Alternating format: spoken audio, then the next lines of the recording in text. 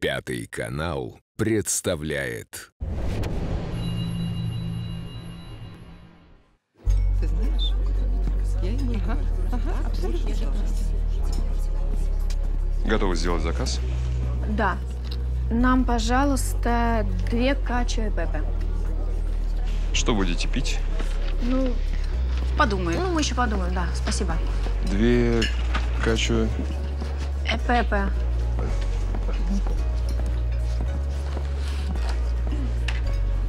Блин, я от пасты толстею. Кир, да перестань. У тебя фигура полный блеск. Вообще, ты знаешь, нам надо с тобой чаще видеться.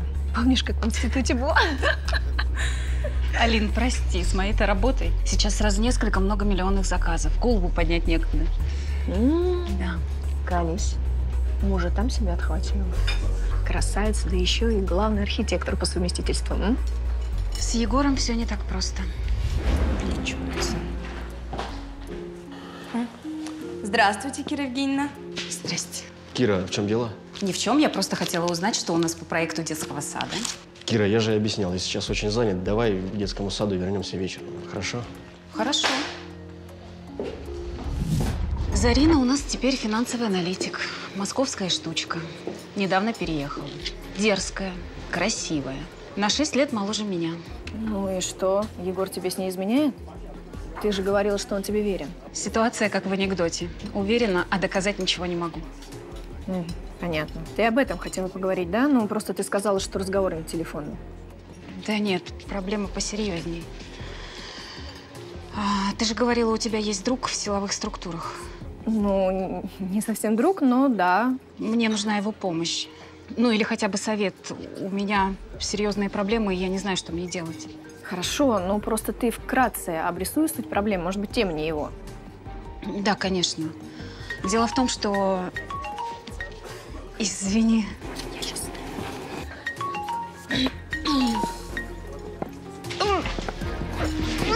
Кира, что с тобой? Кира, ты меня пугаешь. Кира, что? Кира, врача вызовите кто-нибудь! Что с тобой?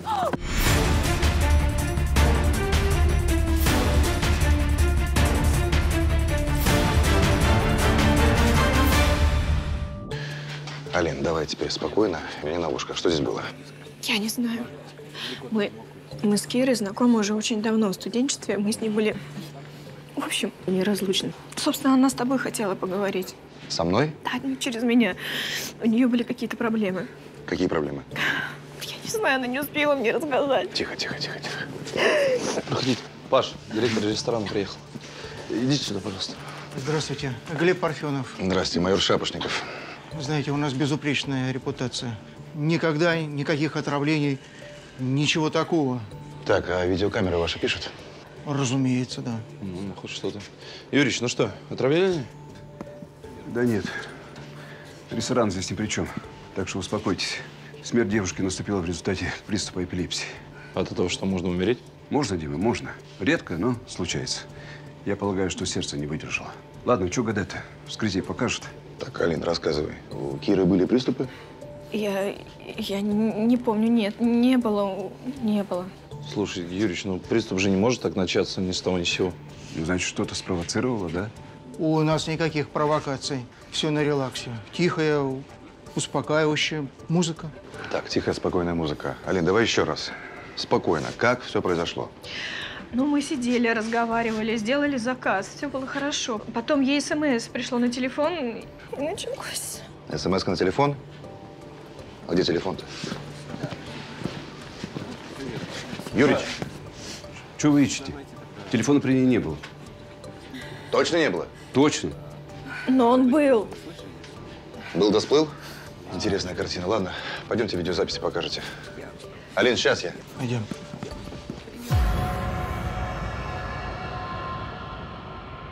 Ну так что мы имеем-то? Несчастный случай или все-таки убийство? Не верю в совпадение. Кира собиралась Алине сообщить нечто очень важное. И именно в этот момент на ее телефон приходит сообщение, и сразу же трубка пропадает. Ну, телефон-то могли тиснуть. Вполне, если трубка дорогая. Ну, слушайте, там ресторан-то, извините меня, не дешевый, и публика респектабельная. Ну, публика-то ладно, а там есть официанты. Ну, люди не богатые. Да. То есть рассматриваем версию убийства. Считаем, что случайность, Непойманная закономерность. Непознанно.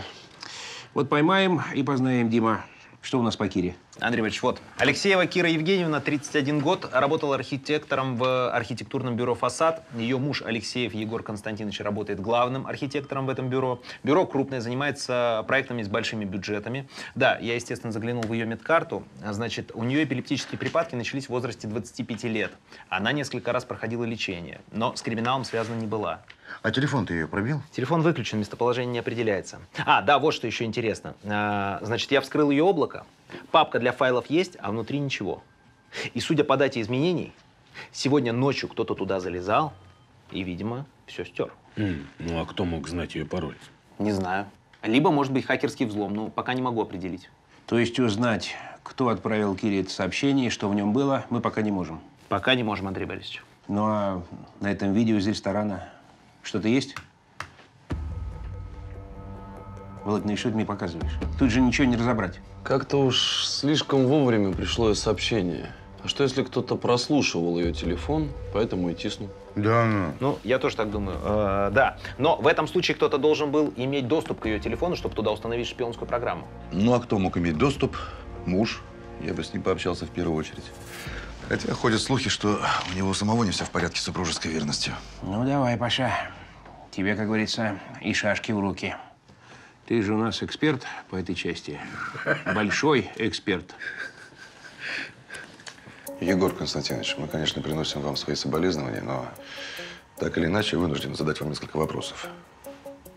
Да, да, я понимаю, спрашивайте. Вы знали, что ваша жена страдала приступами эпилепсии? Она, конечно, скрывала от всех, но я знал. Я виноват, я не настоял, не проявил жесткости. Кира, я заметил, ты перестала принимать таблетки. Почему? А какой смысл? У меня уже два года ничего. Все прошло.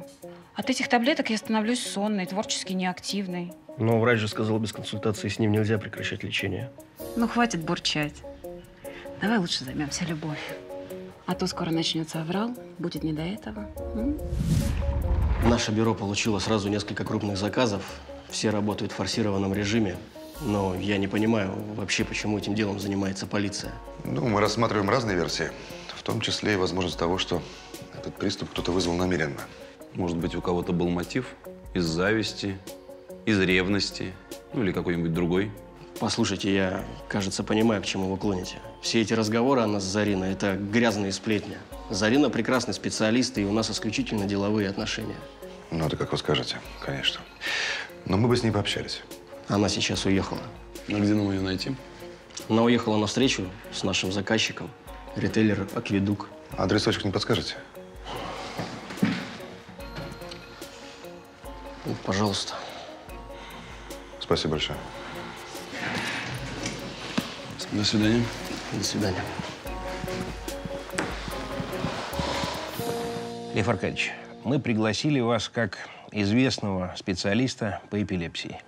Да, занимаюсь данной проблематикой уже около 20 лет. А что вас интересует? Чем могу помочь? Вопрос такой. Можно ли у предрасположенного человека вызвать приступ эпилепсии ну, вот искусственно? Или это миф? Ну почему же миф? Вот смотрите. У меня есть одно видео. Смотрите. Перед вами добровольный участник эксперимента. Подождите, ну это же вы.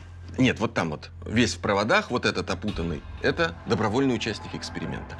Он просматривает видео с э, определенным содержанием. Это мерцающие с определенной частотой цветовые пятна, быстро изменяющиеся геометрические фигуры и другие кадры. А я наблюдаю за картой электрической активности мозга. Как только активность в височных долях у добровольца станет критической, с большой долей вероятности начнется приступ. А, скажите, а вот подобное видео может сделать обычный человек, не специалист? К сожалению, подобного видео очень много гуляет по сети. И не знаю, как у нас, а вот, например, в США уже был юридический прецедент. За отправку подобного сообщения жертве судили блогера. И он, представляете, получил вполне себе реальный срок. Да вы что? Да. А вот еще видео.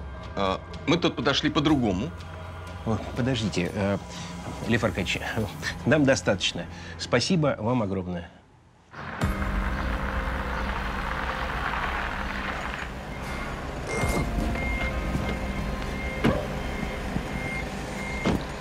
Тимур, А? а ритейлер, это что за зверь такой, а? Ритейлер? Да ты не бери в голову, торгаша не короче. Так, надо звонить Зарине. Давай.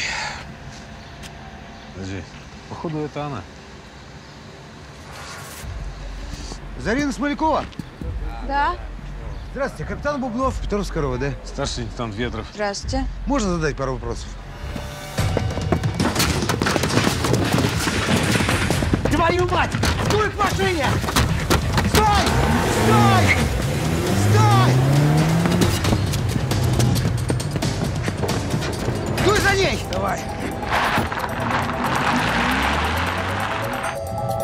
Там на заднем сиденье какой-то человек сидел.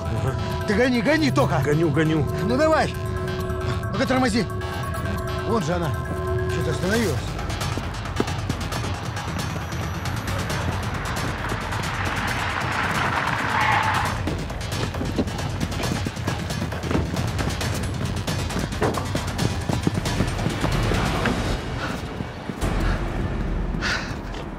Чё?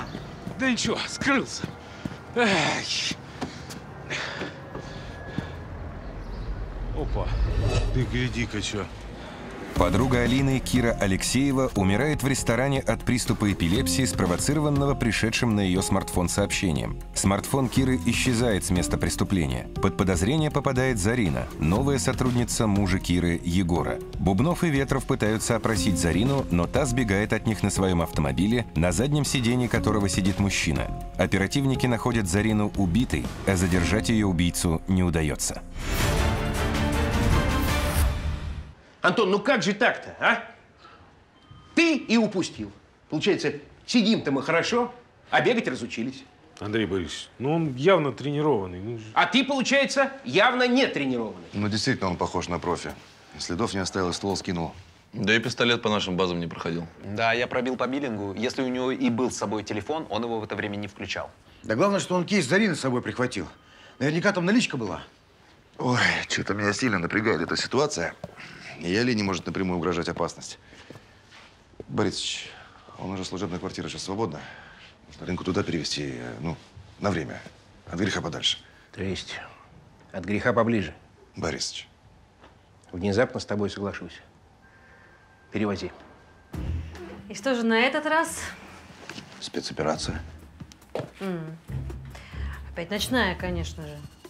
Да, ночная, Марина, что делать? Надо отвезти в безопасное место свидетеля. Важного свидетеля. М. И обеспечить его охрану. Мгм. Ты мне что, не веришь, что ли? Ну, позвони Головану, он все подтвердит. Да ладно уж, пойду тебе ужин соберу. А то ты же проголодаешься после этого. Ну, после операции, в смысле. Да ладно, Маришка, я бы по дороге перекусил. Пап, Чего? э, ты же обещал мне сочинение помочь написать. Я? Ну да. Когда? Нам задали написать сочинение по профессиям. Я выбрал криминалистика. Хороший выбор, хороший. Ну, пиши первую строчку. Значит так, у криминалистов всегда так. Сначала практика, а потом теория. Иди пиши, пиши пока. Юрий, что ли, позвонить? Мариш, ну, может, правда, я по дороге перекушу, а? Да я быстро.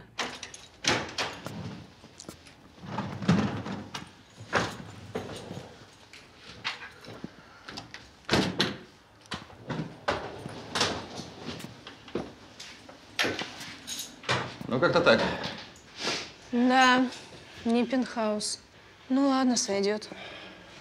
Все настолько серьезно? Алин, нет, блин, я шучу. Ну, я хотя бы еду могу заказать, Паш. Я даже поужинать не успела.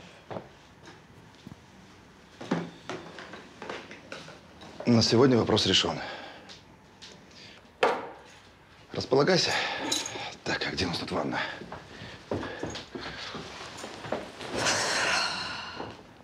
Шабашников, М, а тебя ничего не мучает? Ну, не понял. сидим тут, летаем, ужин приготовленный твоей женой. Нормально? Вот ты про что. Может, и мучает. А вообще считаю, что если уже грешить, то грешить по полной. Пойдем. Куда? Ну, пойдем, не бойся. По грехопадению тебе расскажу. Куда ты меня Ну, не бойся. Пойдем, пойдем. Пойдем, пойдем, пойдем. сегодня в роли злого полицейского.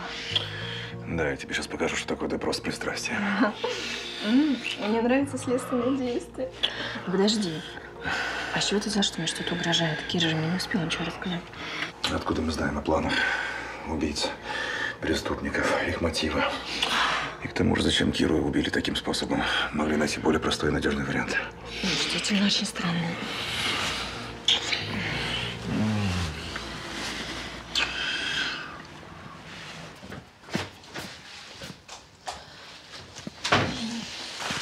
Продукты я закупил, квартиру не покидать. Никому не открывать дверь.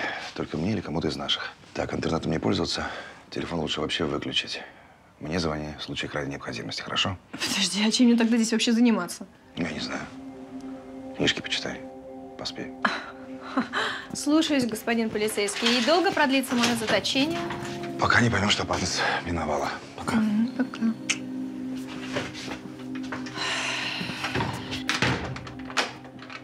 Так, Володя, ну что у нас там есть по убиенной Зарине? Или она, как водится, чиста, как ангел поднебесный? Ну, не совсем, Андрей Борисович. Смолякова Зарина Александровна, 25 лет, не замужем. Высшее экономическое образование получала в Лондоне, в Москве работала в крупной строительной инвестиционной компании «Три башни». И вот тут интересно. Вся верхушка башен сейчас находится под следствием за мошенничество с тендерами, вывод капиталов и прочей шалости. Счета арестованы. Замешана в этом Зарина как-то была или нет, неизвестно, поскольку она успела уволиться из компании перед самым ее закрытием. А, так вот почему она от нас так бегала. Рыльце-то в пушку. Ну, Возможно, убийство Зарины и Киры вообще никак не связано. Слушайте, а может быть, эти люди из Москвы убрали свидетельницу? А? Надо в первую очередь выяснить, что Зарина делала в акведуке. А вот вы, Паша с Димой, этим и займетесь. Антон Тимур, а вы с обыском на квартиру этой Зарины. Есть. Подъем! Здравствуйте. Вы мне звонили? Да, мы вам звонили. А вы Григорьев Юрий Сергеевич, верно? Совершенно верно. Вы тут, значит, главный менеджер. Да. Но у нас есть парочка вопросов. Можно вас? Да, конечно. Скажите, пожалуйста, вы встречались с Зариной Смоляковой? Э, совершенно верно. И что? По какому поводу? Ну как, у нас в планах строительство нового торгового центра. Они делают для нас проект. Ага. При ней был серебристый кейс. Вы случайно не знаете, что в нем находилось? Ну как, финансовая документация по проекту. А что, по-вашему, там должно было быть? Действительно, а что там могло еще быть? Да, впрочем, вы пока можете быть свободны. До свидания. До свидания. М, да, какой-то странный персонаж.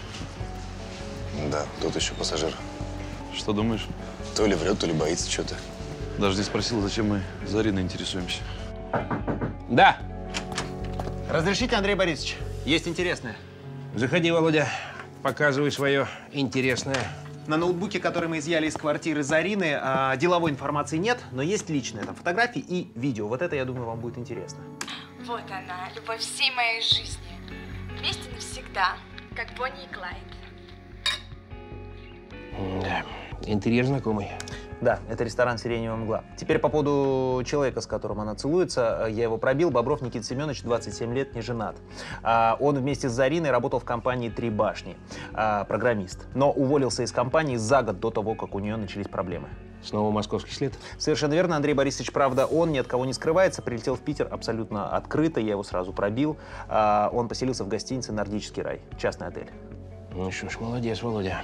Должно же, в конце концов, в этой сиреневой мгле хоть что-то проясниться.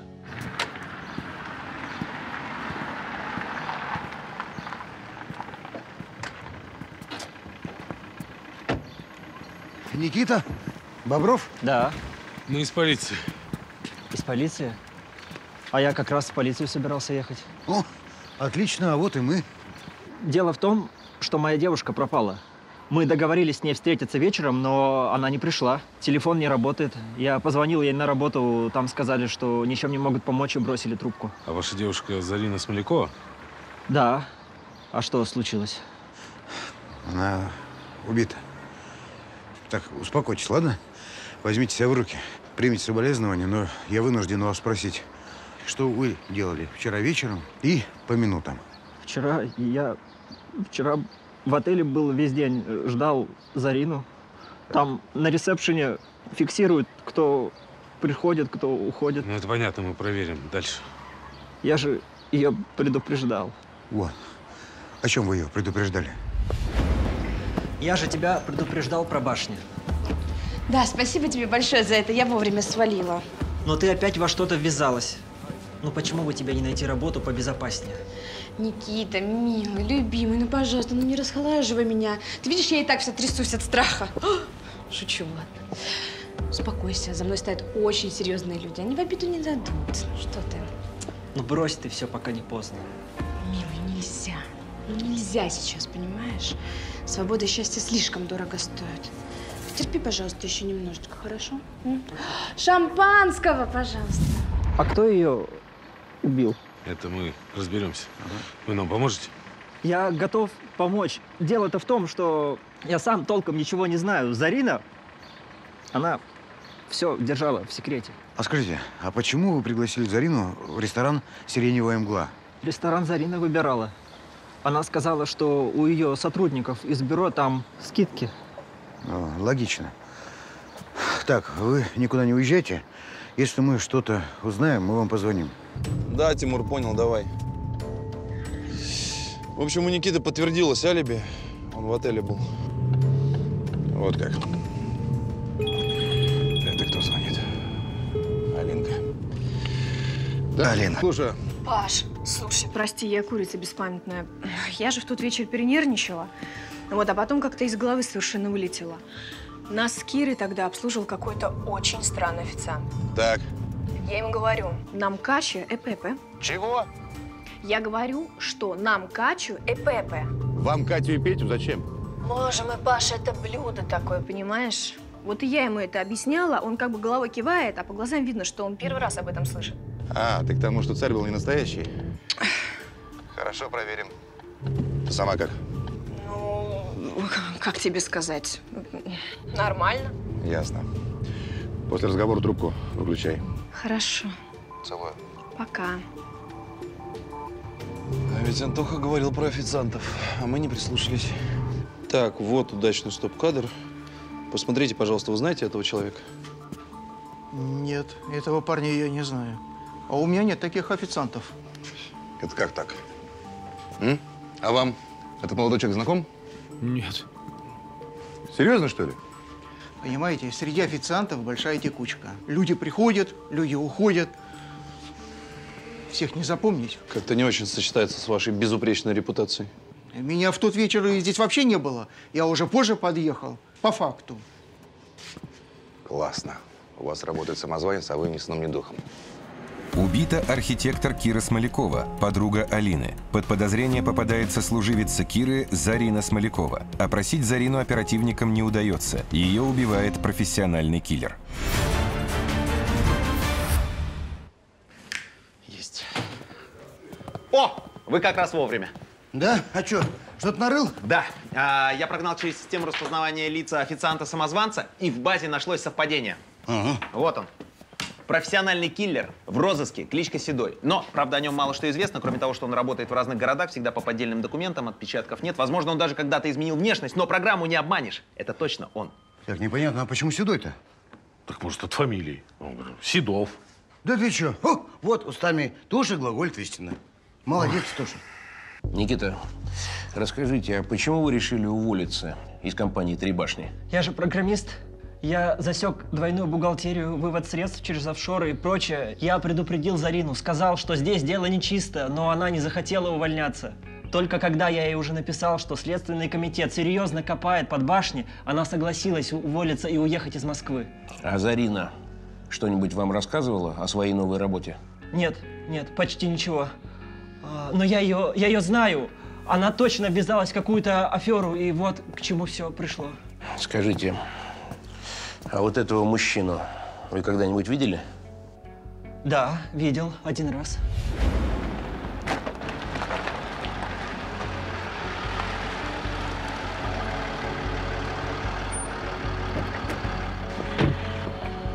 Привет.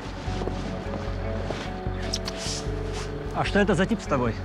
А ты что, ревнуешь, что ли? Я машину в сервис отвезла. Это странный какой-то человек. Это корпоративная машина? А почему Меня тебя щ- должны подвозить вообще? Меня сейчас мужики? возит водитель. Я заметил, что этот мужчина, ну, водитель, специально поставил машину так у отеля, чтобы не попасть под камеры. А номер? Номер... а, номер у него был грязью заляпан. Но я заметил цифру 9. Так, тут огурчики, курочка и картошечка. Хватай. Спасибо большое. Пап, а вот если бы на нас напали, ты бы их всех убил? Я? Нет, почему? Одного бы оставил на рассаду. А-а. Шучу. Ну ты там осторожней. Давай. Спасибо. Пиши, писатель. Обещаю быть предельно осторожным. Пока. Пока. Садовник. М, Да. Теперь понятно, почему ты от жены не уходишь. Я не такая хозяйственная. Алина, сейчас можно без негатива, а? Я в кои-то веке правду сказал, что я охраняю свидетельницу. Тебя, то есть. М, Есть от кого охранять? Представь себе, что есть. На свободе гуляет опасный киллер. Ребята по всему городу его ищут. Подожди, подожди, подожди. Вот тот официант, киллер. Угу. Да ладно. Вот и да ладно. Пей чай. Так, ну вот последний кандидат с девяткой в номере. Волков Поликарп Иванович. Глянь-ка, похож? Ну, вроде похож. Ну да. Пять предыдущих тоже были похожи. Ой. Чё? Смотри, не та ли машина, а? Слушай, хозяин за рулем сидит. Что, пойдем поглядим? Пойдем.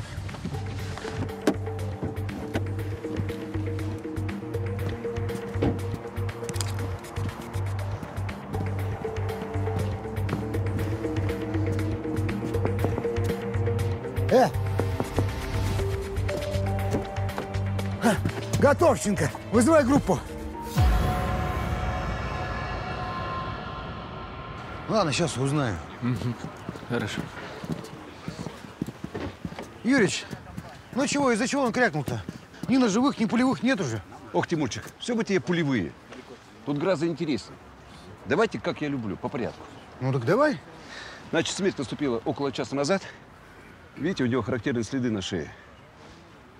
Они от электрошокера. Получается, сначала его отключили, а потом уже вкололи смертельную дозу инъекции. И не надо меня спрашивать, какой яд. Полный отчет только после вскрытия. Странно, а че он не сопротивлялся-то? А что странного-то? Внезапно же оглушили. Вот наш Седой не успел отреагировать. Да, но ты говоришь, у нее ни телефона, ни ноутбука, и проваливает, так?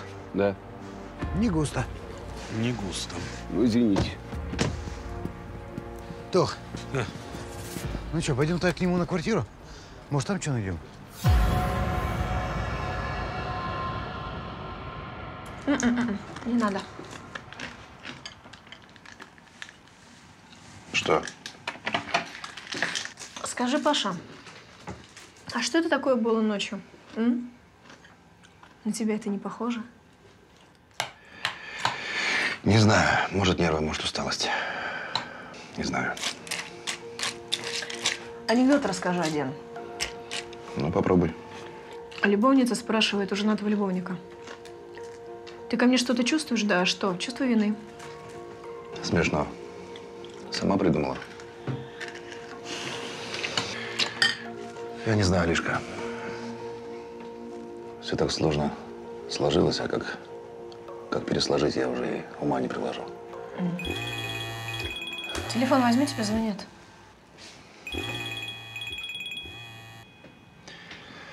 Да, Тимур.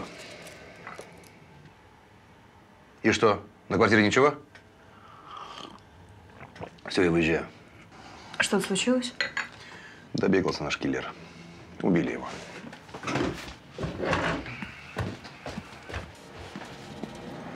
Убиты подруга Алины Кира Алексеева и работавшая с ней в одном архитектурном бюро Зарина Смолякова. Следствие устанавливает, что к обоим убийствам причастен опасный киллер по кличке Седой. Однако оперативники обнаруживают Седова убитым в его машине. Смотрите, Андрей Борисович, Седой тщательно шифровался. В квартире использовал только Даркнет. С телефона звонил каждый раз, используя новую безымянную симку. Но я провел глобальный поиск по видео с парковок города. Смотрите, где всплыла машина Седова. А вот и недостающее звено. Да, но Егор-то не был связан с криминалом. Не был, не был, да связался. Ну что, берем Егора? Брать с уликами нужно. Паша, Дима, срочно ко мне. За постановлением на обыск. Работаем. Компьютер портативный, а именно ноутбук, обратите внимание. Одна штука. Что за фирма такая?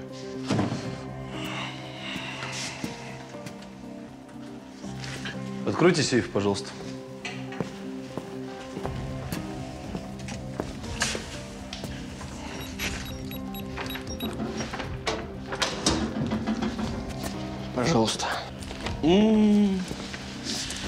Что там?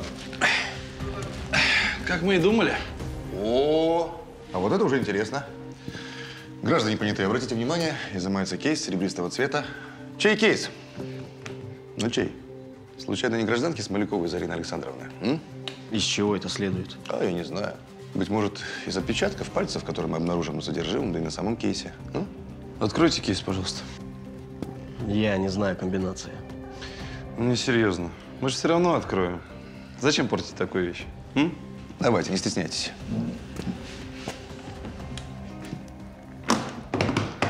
В сторонку. Ну, удивляй.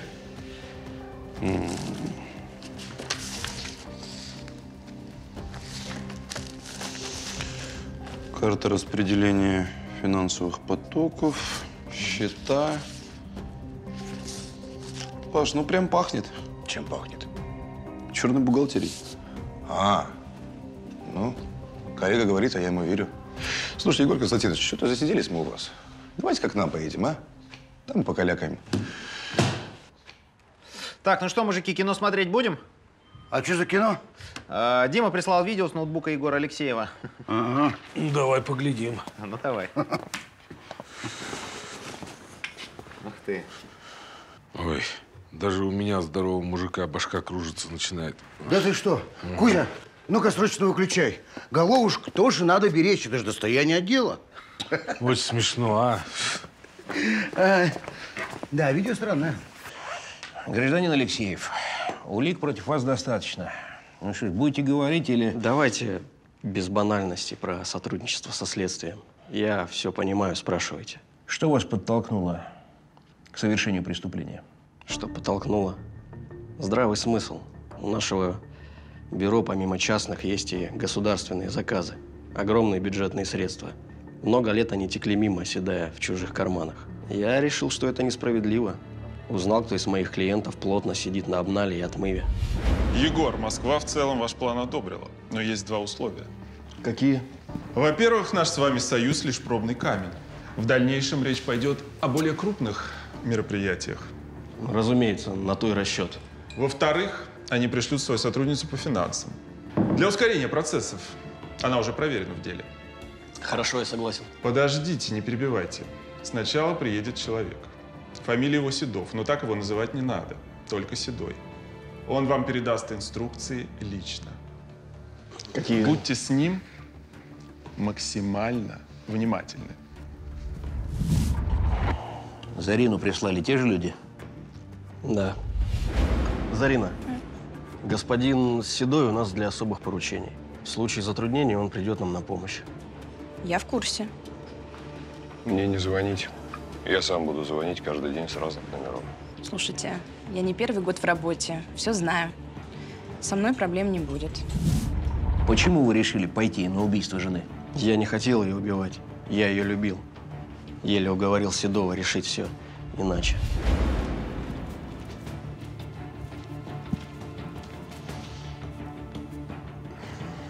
Егор, что за бред? Ты о чем? Ты во что вляпался? Ты же сядешь. Кира, я разберусь. Да уж разберись. Кира влезла в документы и все поняла. Я понял, что она не успокоится, и поставил на ее телефон программу, чтобы все слышать, о чем она говорит, когда ее нет рядом. Значит, вы подслушали разговор Киры и Алины. А как вам пришла в голову идея с видеороликом? Личный опыт. Однажды Кира при мне наткнулась на такой ролик и словно впала в транс, смотрела и не могла оторваться. Я увидел, что ей плохо, и успел вовремя оттащить ее от экрана. Потом в интернете я прочитал, что подобные ролики могут вызвать приступ.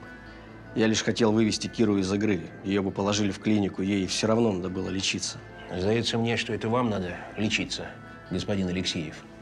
А Седова вы послали в ресторан, чтобы он выкрал телефон Киры? Да, он справился.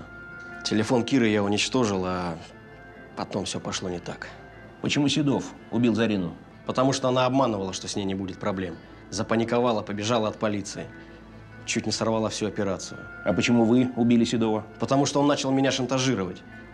С чего вы взяли вообще, что я причастен? Спокойно, спокойно, гражданин Алексеев. Как говорится, слово не таракан, выскочить не раздавишь. Говорите, у нас есть все доказательства, что вы убили Седова. Деньги принес? Принес. А ты не боишься, Седой, что я твоим хозяевам все расскажу? Расскажи, и я вас всех сдам. Я сегодня здесь, а завтра в Африке. И у меня нет хозяев, понял? Я сам себе хозяин. Да и не сообщишь ты никому. Почему ты так решил? Ты слабый, не мужик, а медуза. Женушку твою надо было сразу мочить, а ты цирк устроил. Так, где деньги?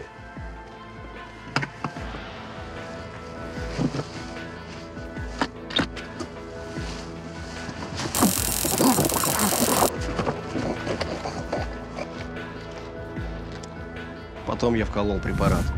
Я прочитал, что он гарантированно вызывает остановку сердца при передозировке. Сколько Седов от вас требовал? 500 тысяч евро. Ну что ж, господин Алексеев, хоть вы у нас банальности и не любите, но я вынужден вам сказать, что вы хоть как-то облегчите свою участь, если подробно напишите все о своих планах. Об обналичке, по выводу капиталов, о роли Григорьева, о людях из Москвы. В общем, все. Да, я понимаю. Как же, как же так? Я ведь только хотел для нас с Кирой сковать светлое будущее. А сковали безнадежное настоящее. Так-то я Кире всю жизнь завидовала. Замужем, да еще муж какой. М, Красивый, красивый, умный. умный. Угу. Да, при должности, при деньгах. Но это вообще редкость. Не изменяет. Ну, это все, это экспонат. На руках носит, пылинки сдувает, любой каприз ее исполняет. Ну все, не хватает, не пьет и не курит, и в музей. Спасибо, что напомнил. Именно не пьет и не курит. Ага. Ну вот я и подумала. Может, и хорошо, что я одна. А то вон какие они, эти любящие мужчины на самом деле. Неправильный ты выводы делаешь. Да? Угу. Мы, может, конечно, и несовершенны, и со своими тараканами в голове, но... Но получше этих идеальных бываем. Да и к тому же ты не одна. Почти убедил. Ты знаешь, ты меня сейчас обижаешь просто. Паш. Что? Ну, Паш. Ну, у нас же есть еще пара часов. Ну да, вроде как есть. Мне тоже так кажется. И мне тоже так кажется.